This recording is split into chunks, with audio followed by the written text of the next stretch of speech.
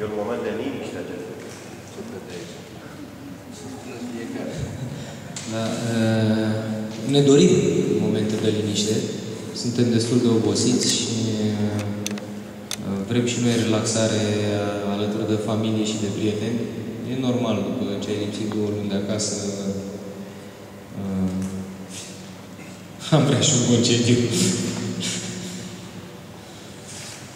Da, cred că cu toți am slăbit câte 5-6 kg, poate 7 și acum o să recuperăm. Avem o nevoie de momente de liniște, stagnare și... Eu cred că am slăbit mai mult de 10 kg și sunt foarte bucuros că sunt acasă în România, în țara mea. Și eu sunt foarte bucuros că în sfârșit sunt acasă. Vreau să-mi petrec cât mai mult timp uh, cu soția mea și cu băiețelul meu. Vreau să construim castele de nisip, uh, să ne jucăm. Și vreau să am o perioadă de liniște de, de om normal, cum ar veni. La fel ca după toate expedițiile, eu o să fac același lucru câteva săptămâni, poate mai mult după expediția asta, nu mă duc la munte, nu mă antrenez, uh, stau cu familia, mă plimb, mă deconectez, simt nevoia să încarc bateriile în domeniul ăsta. Eu aș vrea să știu dacă v-ați întors toți bine sănătoși, adică vizibil păreți ok, dar știu că apar multe probleme și sunteți ok? Suntem ok. Tușim cu toții din cauza pufului, din echipament, care am avut niște probleme cu echipamentul și mai mult nu vreau să spun despre asta. Am primit cu toții niște medalii. Aș dori să mulțumesc Radio România Actualități pentru aceste medalii frumoase pe care le puteți vedea aici. Mulțumim!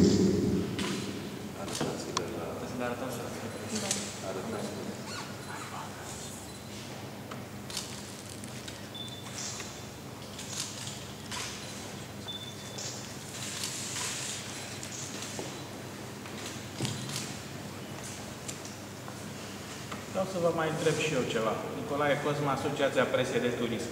Deci ăsta ce ați făcut dumneavoastră s-ar putea încadra undeva în zona turismului extrem. Și mie îmi place muntele și să presupunem că aș fi aflat despre proiectul dumneavoastră. În afară de 10.000 de dolari minim pe care ar fi trebuit să iau în portofel, ce alte condiții ar fi trebuit să îndeplinesc ca să mă luați cu dumneavoastră acolo? Am avut uh, câteva solicitări. În primul rând, uh, uh, vreau să vă spun, cum am spus, echipa noastră a fost foarte bună. Ne-am, noi ne cunoaștem de câtva timp, știm palmaresul fiecăruia.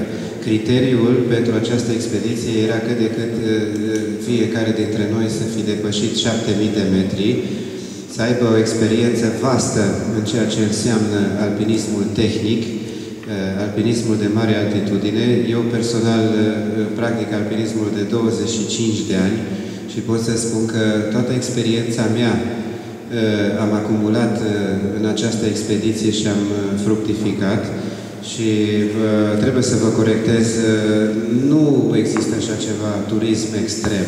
Există alpinism extrem, există alpinism de mare altitudine, există alpinism tehnic, dar turism extrem nu prea există și uh, munții ăștia nu este absolut deloc indicat ca să te duci doar din cauza că ai niște bani la dispoziție și... Nu, poate trebuie să, să reformulez.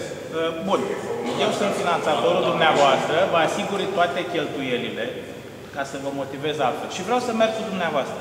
Ce condiții trebuie să îndeplinesc dincolo de bani?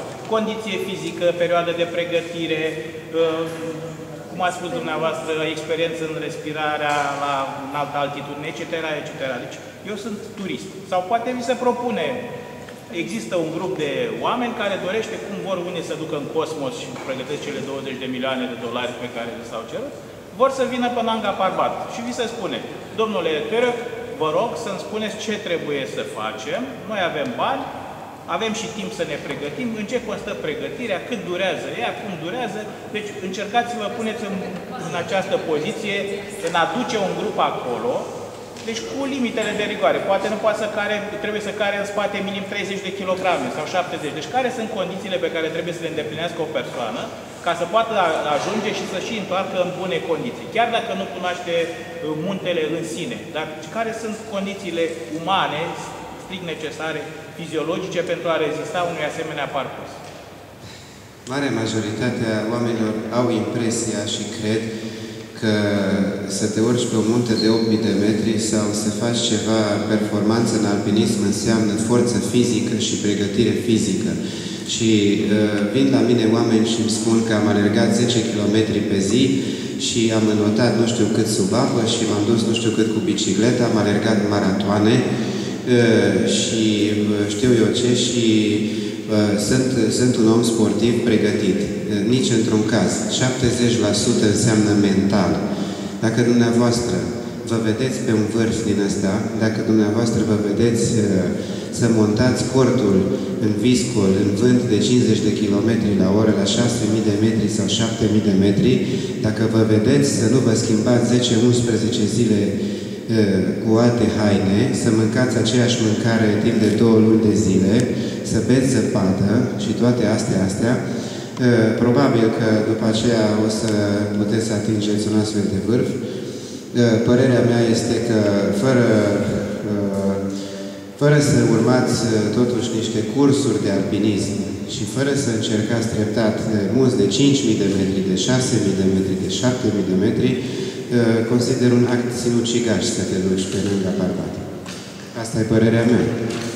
Și apropo de perioada de pregătire de care ați întrebat, la noi, individual, să zicem că perioada asta de pregătire a fost uh, undeva între 15 și 40 de ani la fiecare.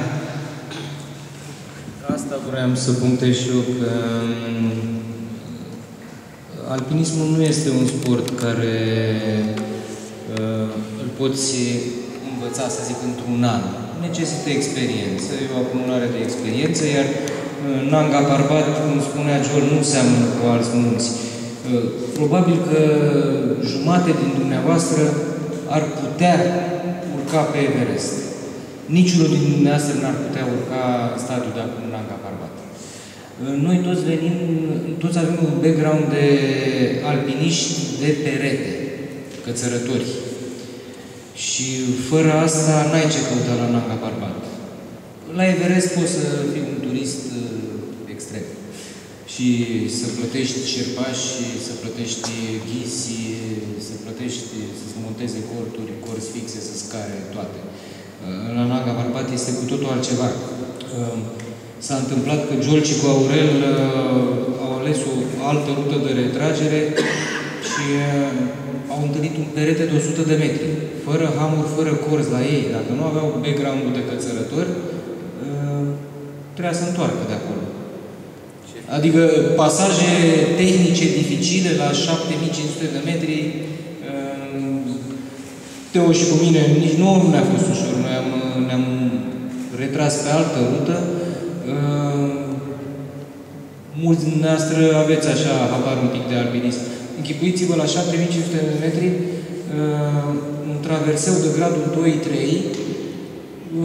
foarte friabil și ești neasigurat și ești obosit rupt că cobor de pe vârf. Dacă nu ai background de cățărător, n-ai ce căuta acolo. Mulțumesc. Vă mulțumesc. Deci probabil că în următorii 15 ani aș putea să strâng cei 10.000 de dolari, dar mai devreme oricum nu pot să vă pun întrebarea asta dacă mă luați cu dumneavoastră până nu fac acești 15 ani de antrenament. Mulțumesc.